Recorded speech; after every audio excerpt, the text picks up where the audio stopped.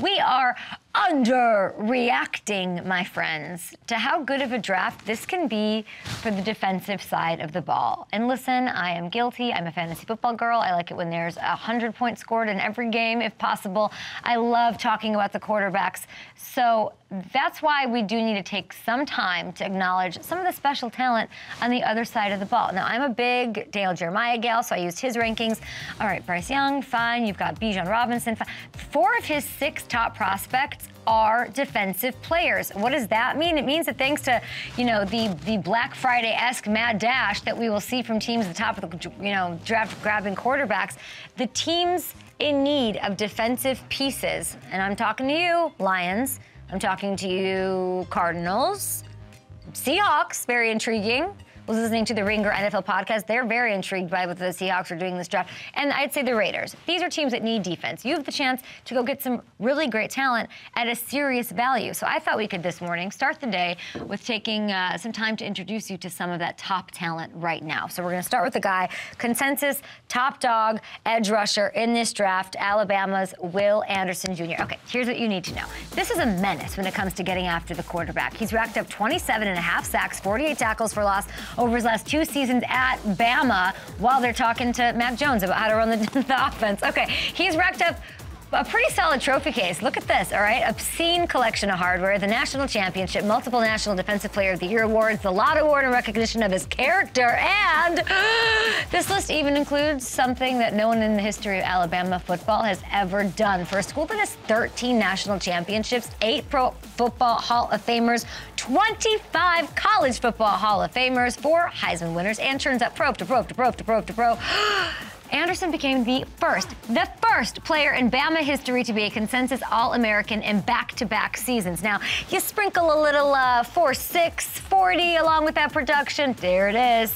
Let me tell you, I ran the 40 this morning. It did not look like that. We'll get to that in a bit.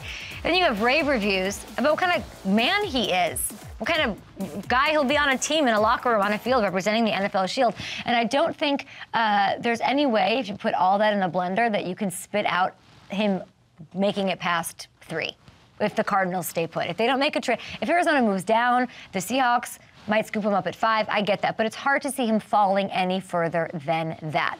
The next guy I want to talk about is Texas Tech edge rusher Tyree Wilson. Okay, now Anderson, we just talked about, he, this is an explosive jump off the page guy, but Wilson's claim to fame, he's a mountain of a man. Look at how big he is out there, unreal. So here's his measurements, right?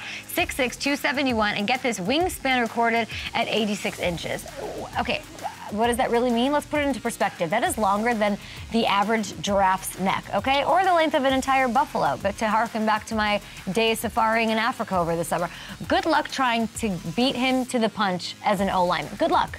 NFL, the, bring your best. Good luck. His frame, his strength, he's drawing comparisons to the guy that nobody gets compared to, J.J. Watt. And it's probably not a coincidence given Tyree admitted that he's modeling his game and has modeled his game after JJ while growing up in Henderson, Texas. So, where do I see him? The ring girl likes the Seahawks. I like the Seahawks. I could see him going to Seattle. He can bolster their front at five. Atlanta, they pick at eight. I could see that. Him, a veteran in Calais Campbell. Imagine him absorbing via osmosis from Calais Campbell. Are you kidding me? How about Detroit? Aidan Hutchinson, want a friend? That would be scary to even think about. Finally, I want to talk about one of the top cornerback prospects in this draft, and it's Devon Witherspoon. He's out of Illinois. You need to know him. Listen, people, it's not all about the quarterbacks and the shiny pieces up top. No, this guy's going to change the complexion of an entire team and a defense. He didn't start playing football until his junior year of high school, late to the game, but quick learner. Figured it out. He earned consensus All American honors this past season for the Illini, okay? Illini, I didn't get into their journalism program, so I'm not a big fan of that school, but I like him. He's the not the biggest corner. We like a little guy, 5'11 and a half, buck 81, but he has made a reputation for himself as far as attitude and being a wrecking ball. He's gone viral multiple times. You're taking a look at right, right now. Oh my God. Why is he so mad? Oh boy. That's the kind of stuff I want to see in the NFL. It's just true. He's laying out receivers and running backs, and he's physical, and that sort of thing goes a long way.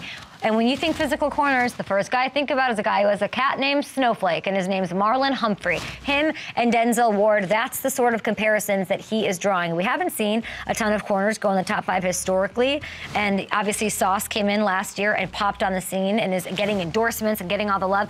Um, you know, and getting Sauce, I think, makes teams a little bit more likely to take a swing on a guy like Witherspoon. It all matters. And I've seen a lot of mock drafts have him in the five through eight range to either the Seahawks, I've seen it to the Lions, the Raiders, Raiders keep popping up, the Falcons. Wherever he ends up, opposing receivers, they got to be ready for some of those layouts because that is some WWE George Kittle stuff if I've ever seen it. All right, we've got a big, big show coming up next. What if I told you we had an Olympic gold medalist coming up who runs faster than a, uh, like a Prius over here? Unbelievable. And she's a Fashion Week mama, and I wore flats today. Hi, you go. How are you? Good.